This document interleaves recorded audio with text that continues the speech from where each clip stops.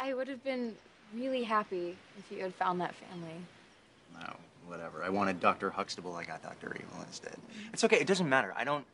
I don't care. I'm glad. I'm actually glad. Liar. I am. I am because in all of this insanity, I got to meet you, right? I mean, my mom sent me on this journey to find my father. And I'm starting to think that that wasn't the purpose at all because something so much better happened in that. I found you.